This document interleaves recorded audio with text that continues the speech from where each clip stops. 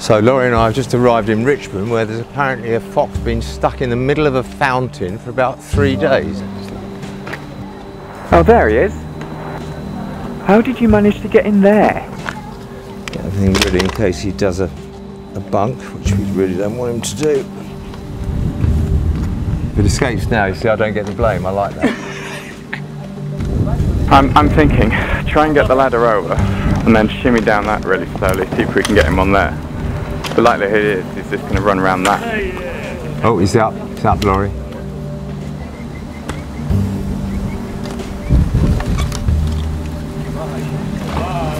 Right, he's in the water. Hold that. Go. Where Round the side. Round this side. In the water. He's back out. I've got a nasty wound on his right rump, really nasty. Okay.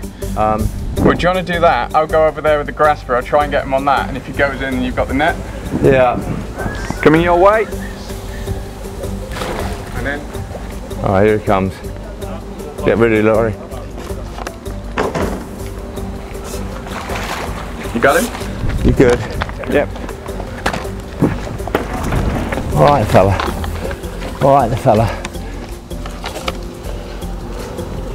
Watch he doesn't get you. Watch him. All right. Happy? Okay, we've got that.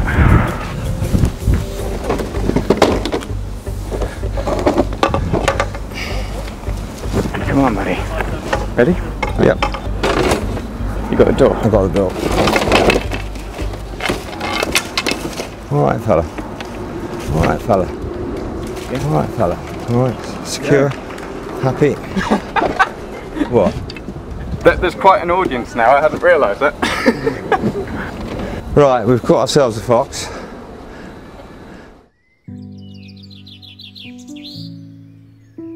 Right, guys, we've got a fox. Um, quite lively, but he has quite a large, what looks like a burst abscess. With the fox lightly sedated to reduce the stress of examination, it was over to Tim, one of our vets, to assess the injury. It doesn't look too bad, aside from the pondweed. It's just very deep. Luckily, although looking very nasty, the wound had not resulted in catastrophic muscle damage, and Tim set to work on a treatment plan.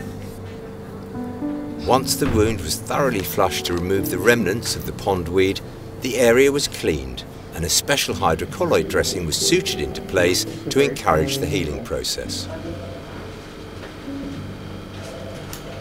With the short surgery complete, the fox was transferred into one of our quieter fox pens to recover. Wounds like this can take quite a time to heal, but we are sure that given a little time and lots of care, this fox will be able to return to the wild once more.